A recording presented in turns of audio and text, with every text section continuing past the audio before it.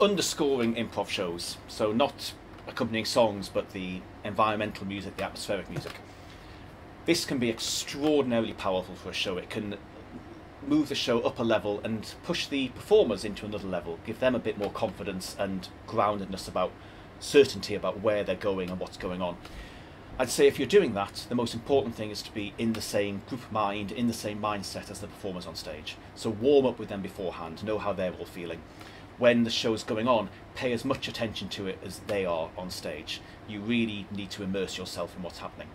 And then when the a moment does does occur for you to do something, you can then trust yourself to then be bold and make a strong statement with your offer. Come in with that tentative romantic music and a slightly uneasy scene come in with that suspicious music when this, we're wondering what's going on outside.